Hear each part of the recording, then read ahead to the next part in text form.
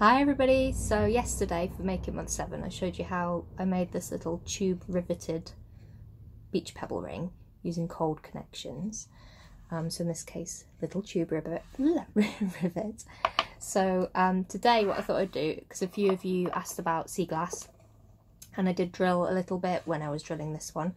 Um, so I've got this on the bench ready to use. I did it in exactly the same way as this one, so little diamond tipped um, burr and you have to make sure this stays wet when you're doing it. So if you look back at yesterday's video, if you're not sure. So I've drilled it all the way through and it is a nice tight snug fit to the wire that I'm going to use to make my rivet. And this time I'm going to show you how you can make a fancier rivet, so something with a little bit of decoration on it. And I thought as well we'll do it as a little pendant instead, one with a bit of movement to it. So I'm going to use a little bit of brass and a little bit of copper to do this one. So what I thought was I could cut two bits of metal that are the same or similar shape to my piece of glass, rivet them all together so there's a bit of movement, the layers can um, splay apart. So what I'm going to do is take some masking tape, stick it on the surface of my metal, like so, just so that I've got a nice surface to draw on so I can see the shape easily. And also this means I can draw on it with a pencil, so I'm less likely to mark my glass when I draw around it compared to if I used a Sharpie or something.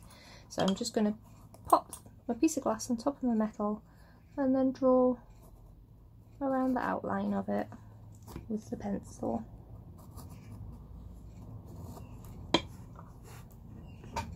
Like so. I'm going to do the same on the brass and then I'm going to just cut them out with the shears. So let's say I'm just going to cut them out with my shears.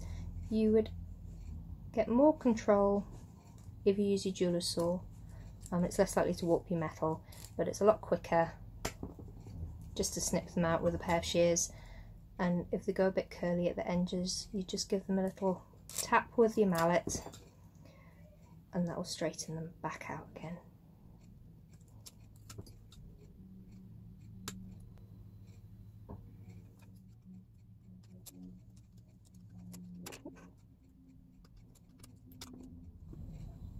There we go, two little metal shapes matching the shape of my little piece of sea glass.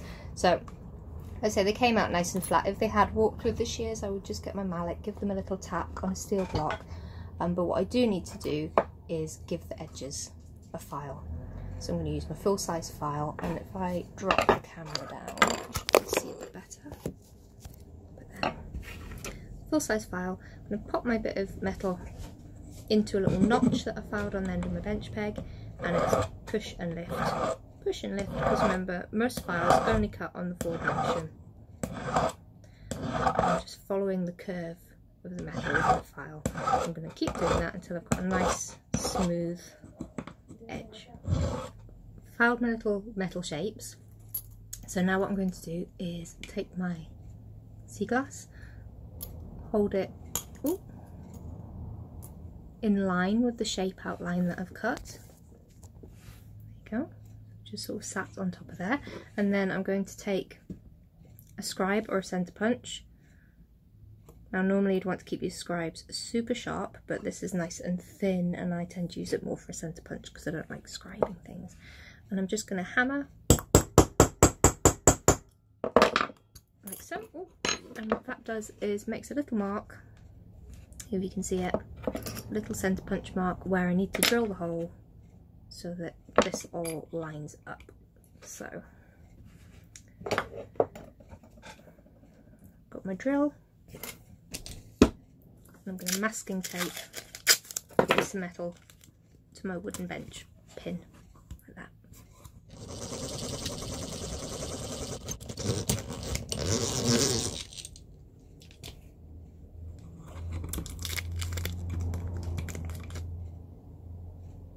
There we go, little holes in them now, so now they should stack together and fit onto the wire I'm going to use for my rivet. A Bit of a tight fit, but that's what we want. There we go. So what I'm going to do is I'm going to ball the end of this wire um, by melting it with the blowtorch. So if you come over here, I'll show you how to do that. Lots of people struggle to um, ball up the end of brass wire. It's a lot more resistant compared to silver or copper. Um, but the trick to it is to use lots and lots of flux. So basically you just need to keep it clean.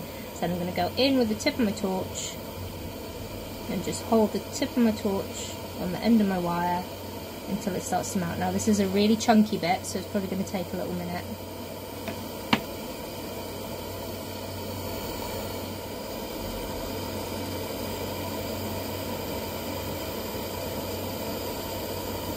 That's it starting to go. There you go, I'm happy with that. So I'm going to turn my torch off. Quench this in the cold water.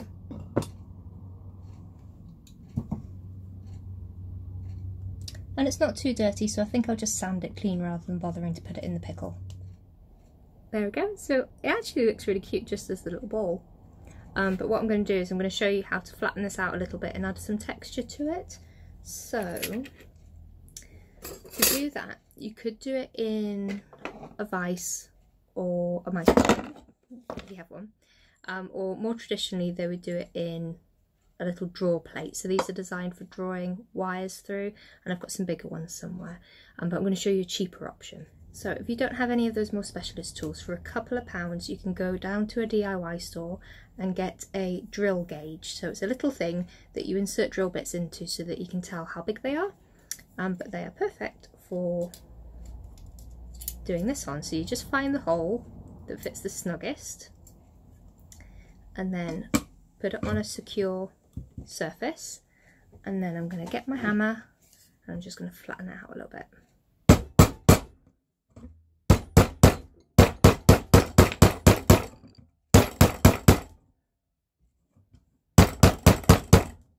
That's it starting to go, but it'll be a lot quicker if I go outside and do this on my anvil, so I'm going to show you that. I keep my anvil in the garden because there's no room for it in the shed. It was my granddad's, so you can see how rusty it is. Thank you, Lola, for helping.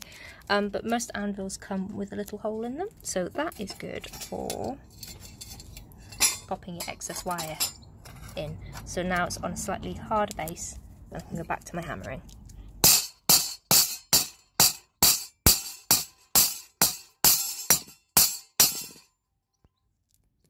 You see it's starting to flatten out.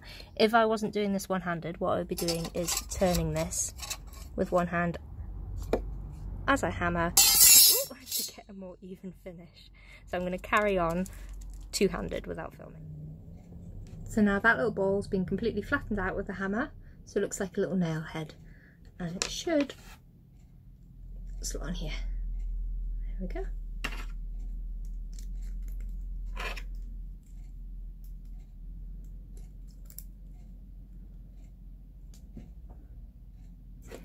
So now I just want to put a little bit of detailing on here so it's not just a completely flat pad. So what I'm going to do is I need to grip this in some way. So I'm going to use my mitre jig. But like I say, anything that will hold it securely in place, vice, anything like that.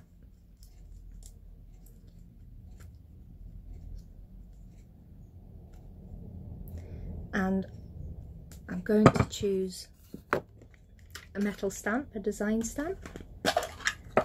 But you could use um, nails or screwdriver sets, centre punches, anything just to add a little bit of texture. Decided to go for a little flower shape. So I'm going to make sure this is secure. I'm going to hold the punch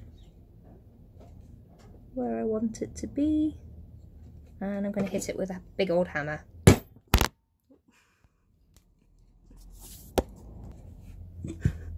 One of these days I'm going to find a proper setup for this camera that doesn't just mean it falls over every time I hammer something.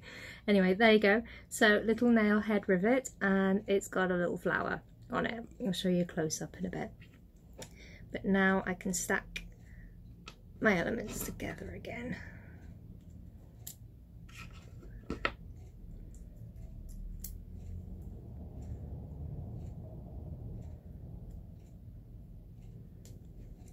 there we go so all I need to do is same as last time I need to trim it so there's one mill sticking out file it flat and then I'm going to do my hammering to rivet the other side but I need to protect the glass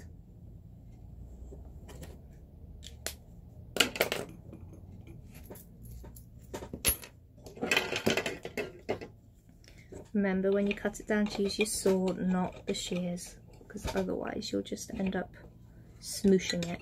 A technical term.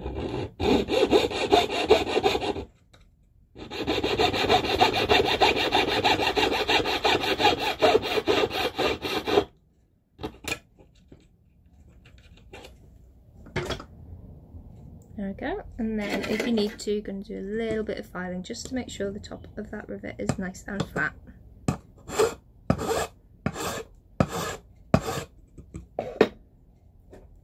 And remove any burrs that might stop it from slotting back through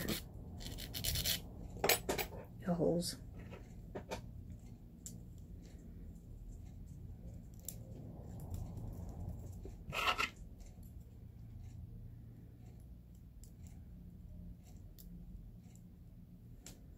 So this is all ready to rivet with the hammer, same as we did in the previous videos. The difference is I have something delicate on the other side, which could potentially smash if I hammer it. But hopefully the thickness of the rivet on the bottom should protect it. So I'm going to do my hammering on my wooden peg this time rather than on the steel block, just because the wood is softer, so less likely to damage the glass.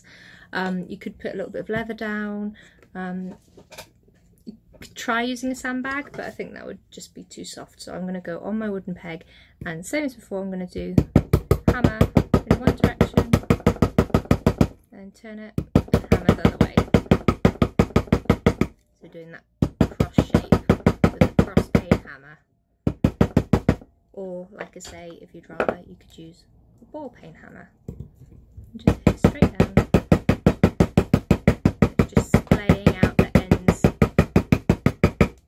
of that wire. I don't want this one to be super tight because I want to keep movement. There we go. So I've popped a little hole in the top of the back layer, the copper layer, attached a jump loop and threaded it onto a chain. So there's a little fancy rivet, cold connection necklace, kinetic necklace because all the elements spin and turn. So let me know what you think. I'm going to do a close-up of the little um, the detailing where I'm not wearing it just in case it's not quite in focus. Um, but I hope you like it. Little rivet on the back. Super easy really fun. No heat or blow torches required which is always great considering how hot it is in the minute. Um, so yeah let me know how you get on. There we go. So little fancy textured rivet riveted on the other side. Not too tight so that there's some movement to it. But as you can see it's a little bit awkward to move because it's getting that balance where it's not too tight you can move it but you don't want it being so loose that it moves on its own too much when you're wearing it. You want to be able to pose it in the shape that you want it to be seen. Yeah good fun to make really easy and it's just a way of adding a bit more detailing to your rivets if you want to.